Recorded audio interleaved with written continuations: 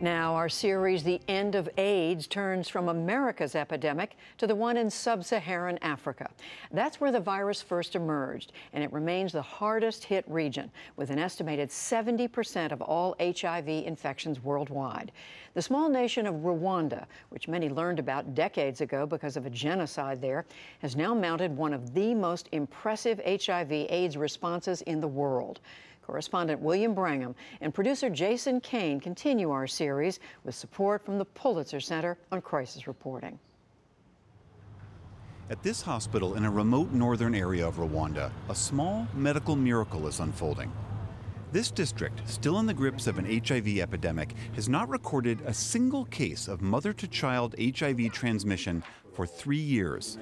Similar progress has been happening throughout Rwanda, outpacing many other places in the world, even many in the U.S. We sat down uh, with local leaders.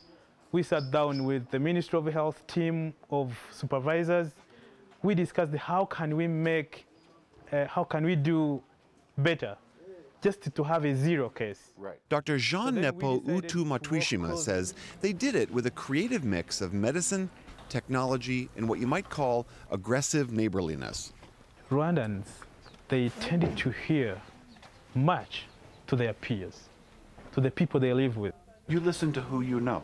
You listen to who you know, and sometimes to, to, you, to who you share the, the situation. To achieve this success, a fleet of influential women were recruited from local villages, and those women visited every pregnant woman in their area to make sure each one was educated and tested for HIV. If untreated, an HIV positive woman will often pass the virus to her baby at birth or through breastfeeding, but HIV treatment can stop that. Using simple texting, the workers transmit results and information to the local health center, which then relays it to the main hospital.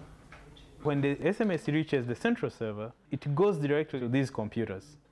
Dr. Utumatwishima says working with infected pregnant women who are so consistently giving birth to babies free of the virus has been a huge source of pride for the nation's healthcare providers. We need a generation of kids who will never blame us we never blame the country. It's a remarkable success for a country many learned about through tragedy. In 1994, one of the two main ethnic groups in Rwanda, the Hutus, turned on their neighbor Tutsis and slaughtered hundreds of thousands of them, often killing them with machetes. Millions more were displaced. Government agencies, including much of the nation's health infrastructure, were left in shambles, a ripe opening for HIV. John Cohen has covered the HIV AIDS epidemic for more than 25 years for Science magazine, and he traveled with us for this series. When I was here in 2000, they were trying to restart an AIDS program that had been completely destroyed. So they had a good program prior to the genocide? They had one of the leading programs in sub-Saharan Africa in the early 1990s, and it was all destroyed. Destroyed at the very moment HIV rates were spiking throughout the region. Everything was completely down. So it has to be built from zero.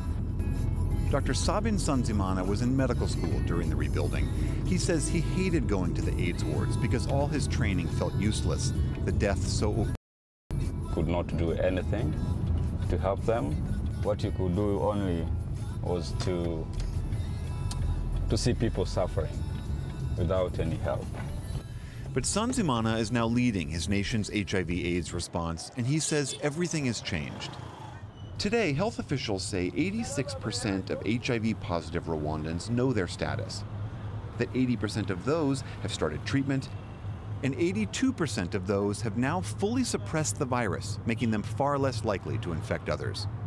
Hitting 90% in each of those categories is what global health experts say will be a major step towards ending the epidemic, and Rwanda is almost there.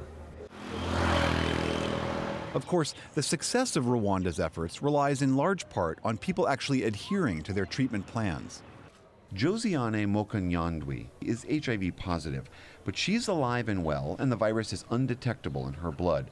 That's what's prevented her young son Prince from getting infected when he was born. But that diligence isn't easy. It involves long treks to the clinic, times she has to take off work. She's got checkups and treatment, long stretches of waiting and counseling, managing her meds. All of this, even though Mukanyandwi feels perfectly fine. nyine ifata nk'ukwezi ukibitekerezaho It took one month to accept my status. I talked with my family, my parents, and I decided to come. Now I'm coming every month, and there's not a problem. As Josiane, a long line of moms follow through the clinic. They're all HIV positive, their babies all negative. Now it's time where we can say no more loss, should not lose any other life anymore because the, this country uh, will be only built by its own people. The mother to child transmission rate has fallen so sharply in Rwanda that when the rare transmission does occur, she refused initially to start on treatment. Health officials conduct a forensic examination of each case to see why it happened and how to prevent it next time. We still have new infections, we still have people dying because of AIDS, and we still have uh, children who are getting HIV from their mothers. So we should not sleep. John Cohen says that in the aftermath of Rwanda's genocide, the nation built an even stronger HIV response. They had a chance to rebuild from the bottom up and to build a sturdy structure in terms of a health response. And they're starting to see the payoff of that. So they seized So- an opportunity. Yeah. You know, I, I, I hate to be Pollyannish about any of this stuff. It's hard to sustain the sort of response they have today. And the place they want to go to next is really difficult to get to. The last and most difficult steps to end the epidemic involve finding those who don't know they're infected, as well as helping those who are on medication stay the course. When they give me pills, I, I started to, to refuse. Like, These young people, part of a local support group, are all HIV positive. They were infected at birth by the virus that has also made most of them orphans. Most say they didn't learn their status until they developed AIDS as kids and nearly died. Like me, the first time I know it, I, I want to kill myself. Compared to adults, adolescents are twice as likely to skip their meds, take them incorrectly, or stop treatment altogether.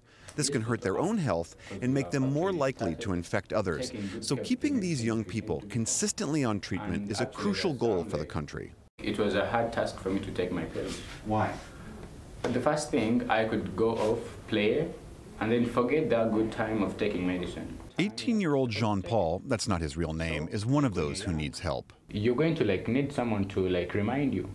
You're going to need a parent or a, a, a family member, relative to help you. Like all these young people, Jean Paul has been paired up with another young man from the group, Alexei Shimimana.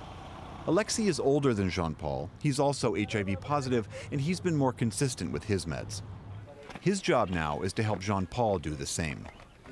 The two hang out, they swap stories, they commiserate. He asks something, what can I do? I say, this is your life, it's not mine. You know? You may take medicine in order to live.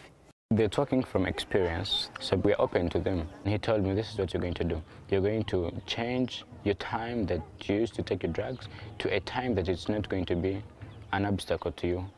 But there are logistical obstacles as well. His mom and dad are both dead. He splits his time between his aunt's house and an uncle's across town. Jean Paul still misses pills now and then, he said, but he's trying. That's a lot of difficult things to deal with for someone your age. That's part of life. Part of life for an entire nation as well, one that's striving to keep up its newfound progress against this epidemic. For the PBS NewsHour, I'm William Brangham in Kigali, Rwanda. Some remarkable reporting. And tomorrow, our team reports on an innovative treatment program that's happening on a remote island in eastern Kenya and how they figured out how to reach fishermen there.